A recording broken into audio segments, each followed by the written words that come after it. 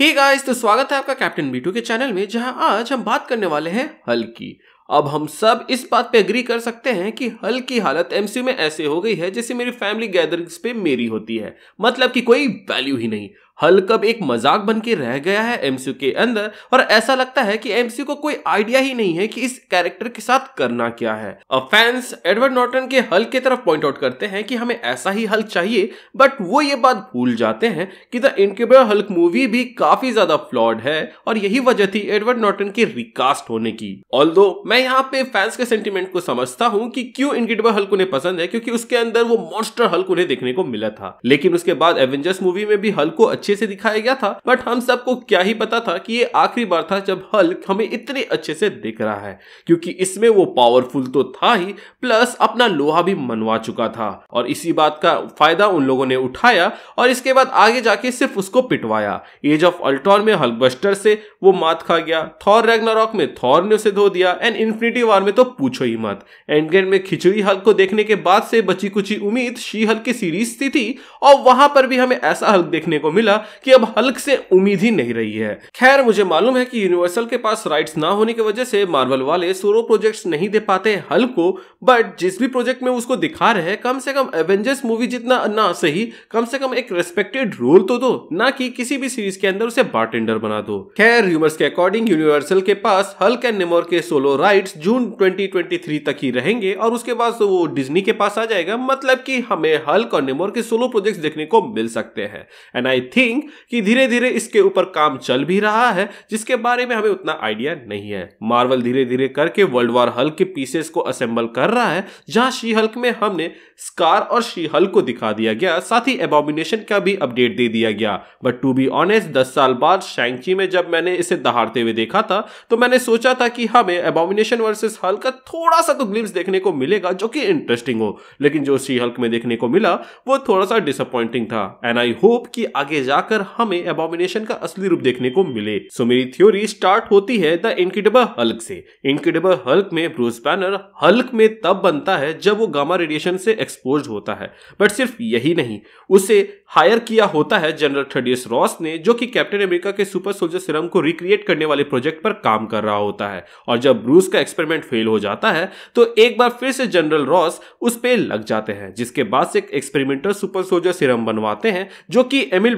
ब्रॉन्स्की को दिया जाता है। बट अगेन ये वर्जन भी परफेक्ट नहीं होता है। बट उसी मूवी के अंदर हमें एक और कैरेक्टर दिखाया जाता है, जिसका नाम रहता है सैमुअल स्टर्न्स जिसके सर के ऊपर हल्का ब्लड गिरता है और ये उसको म्यूटेट कर देता है।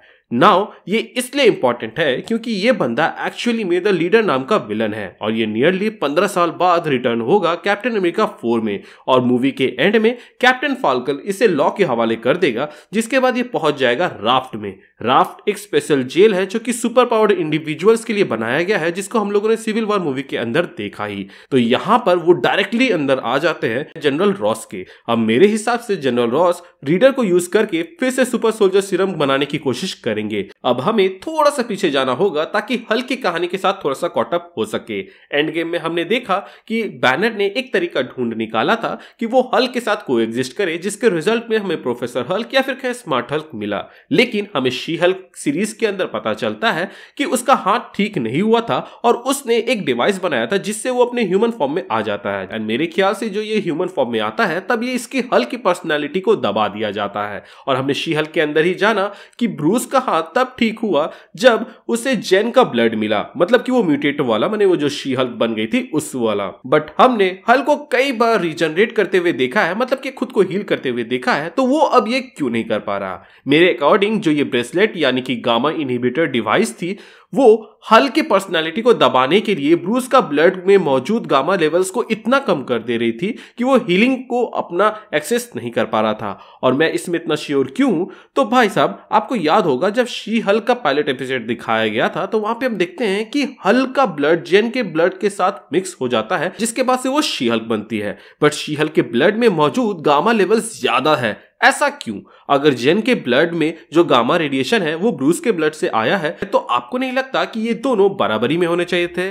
एक्सेप्ट उस एक्सीडेंट में हल्क का ब्रेकस्लेट यानी कि वो डिवाइस टूट जाता है और हमें थोड़ी देरी के लिए एक रियल हल्क देखने को मिलता है। मैं यहाँ पे रियल हल्क इसलिए कह रहा हूँ क्योंकि अगर यहाँ पे बैनर प्रोफेसर हल्क या वो स्मार्ट हल्क बन रहा होता तो कोई दिक्कत वाली बात नहीं थी। लेकिन यहाँ पे शायद तक वो वो खूंखार वाला हल्क बनने वाला होता है, लेकिन बैनर उसको सप्रेस कर देता है। अब मेरे हिसाब से जनरल रॉस जो कि सुपर सोल्जर सिरम बनाने की चाह रख रहे थे, वो लीडर की मदद से ऐसा सिरम बनाना चाहेंगे और एक ऐसा मशीन बनाएँगे, जिससे उस सिरम को एनहेंस किया जा सके। ऐसा इसलिए क्योंकि सुपर सोल्जर सिरम अगर सक्सेसफुली बन भी गया तो वो हल को उससे नहीं पकड़ पाएँगे। उनको उससे ज़्यादा चाहिए होगा, इसीलिए वो एक गामा एनहेंसर डिवाइस भी बनवाएँगे, जिसके मदद से शायद तक जनरल रॉस रेड हल्क बनेंगे। बट यहाँ मुझे लगता है कि ब्रूस उन्हें रोकने आएगा, और रोकने के लिए वो मशीन को तोड़ना चाहेगा। बट वो machine heavy levels of gamma radiation blast करेगी, और उसके बाद से ब्रूस के अंदर के जो गामा लेवल्स हैं, वो इतने बढ़ जाएँगे कि ब्रेसलेट अब उसे रेगुलेट नहीं कर पा रही होगी, जिसके बाद से हल्क की जो पर्सनैलिटी जो इतने समय से दबी हुई थी, वो बर्स्ट आउट करेगी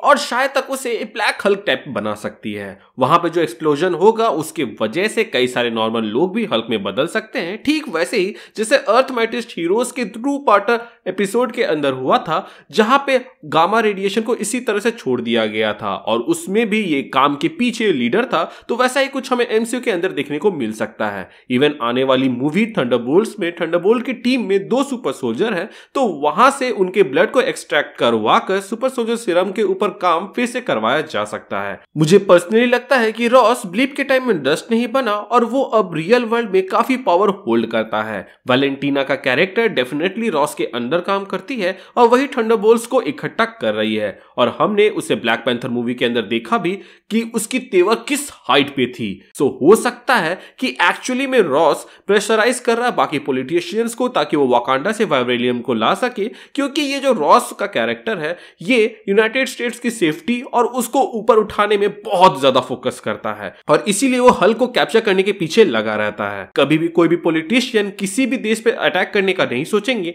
ये सोच सिर्फ़ और सिर्फ़ मिलिटेंट दिमाग से आ सकता है, जो कि मेरे ख्याल से यहाँ पे रॉस का होगा। अगर आप ध्यान दो तो जब भी रॉस कुछ करने जाता है, उसके वजह से हल्क को प्रॉब्लम हो जाता है। इवन हल्क की जो जन्म है वो भी रॉस से ही जुड़ी हुई है। तो रॉस जब इतने कार्य तिगड़म उगड़म लगा रहा है तो ऑब्वियसली इसका इंपैक्ट पड़ेगा क्योंकि यही होगा कि जो हल की पर्सनैलिटी इतने समय से अंदर में दबी हुई थी, वो बाहर आ जाएगी, जिसको रोकने के लिए बाकी सारे हल कैरेक्टर लगेंगे। ये जो हल्क आएगा, ये अनस्टॉपेबल होगा, और जो हम लोग वर्ल्ड वार हल्क और मॉन्स्टर हल्क की बात कर रहे हैं, उनको भी ये सरपास कर जाएगा। ऑब्वियसली ये मूवीज़ के अंदर दिखा रहे हैं तो वो वर्ल्ड वार हल्क जैसे बहुत बड़ी फीट नहीं दिखाएँगे बट इतना तो है कि वो सबके नाक में दम कर सकता है। वो एक औसम सिनेरियो होगा, जहाँ पे हमारा इनक्रेडिबल हल्क हल्क जैसे कैरेक्टर से लड़ेगा एक साथ, जहाँ पे ऑपोजिट में Skaar Abomination She Hulk Red Hulk and ना जाने और कौन कौन से हल्क हो सकते हैं। लेकिन ये बस एक थ्योरी है, एक मार्वल थ्योरी मुझे मालूम है कि मैंने कई लूज एंड छोड़े हैं बट ये वीडियो अपने थ्योरी को डिस्क्रिप्टिव फॉर्म में समझाने के लिए बनाया गया था,